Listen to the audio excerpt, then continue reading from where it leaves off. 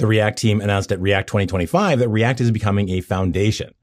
And that's great news for the React community, but what does it mean for React devs like us? Is it good news? Is it bad? Let's get into it.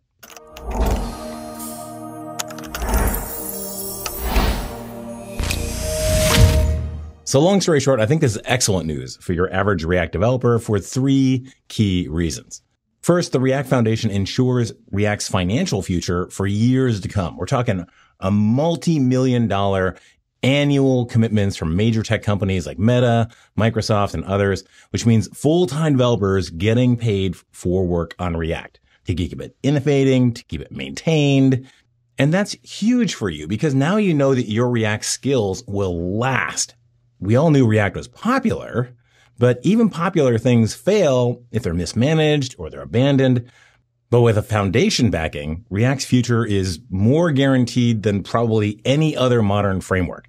You no longer have to worry about whether Meta is going to go through layoffs and the React team is going to get caught in the crossfire on that.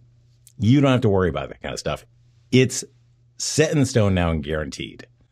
Second, let's talk about governance because there's always been this concern and sometimes like fear, uncertainty, and doubt and FUD, sometimes legitimate, that Meta might drive React in a way that the community doesn't want. Think about React server components. Now, personally, I'm a fan of those, but a big part of the React community thought RSCs were moving away from React's SPA roots. And whether you agree with that or not, the point is that it felt to some like things were being done to the community rather than with the community. With the React Foundation, governance now moves from Meta alone to the broader model of the community where we have real input on React's directions. Major decisions are going to be more transparent and more collaborative. And I think this has been a long time in coming, and I'm really genuinely excited about it. And finally, React is going full open source through the foundation, including React Native. And that's a huge deal. It's always been a sticking point that the source of truth for React Native is within Meta's internal code base not the open source version. And with this, that's now changing. Both React and React Native, we fully open source, fully transparent. No more surprises. You'll be able to see all the in-flight PRs and the branches and all the discussions happening. No more issues with internal suspense changes and whether children are rendered serially or in parallel, which ended up stalling the React release for like months. And that's because the community only found out about it after the fact.